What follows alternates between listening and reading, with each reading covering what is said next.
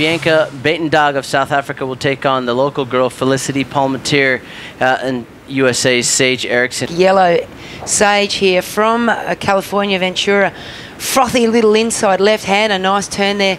Hard waves to ride these waves. Her board looks really nice and loose under her feet. Looks like a Felicity scored a 2.5 on, on her opening ride, that left. Here she goes again. She's uh, surfing on a backhand now. Very strong, powerful surfer from uh, Perth, Triggs Point, and uh, Hillary's, I think, up there, just uh, a little bit north of Triggs.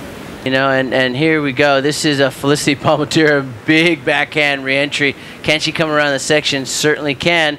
And there she does a nice little backhand turn again and really oh. goes for it in the Margaret River toilet bowl. I know, it, that thing really sucked up. Oh, and uh, well, um, Bianca once again. Also, just going to make a point there. Oh, if I was Bianca, I'd be looking at one of these lefts, and here yep. she is.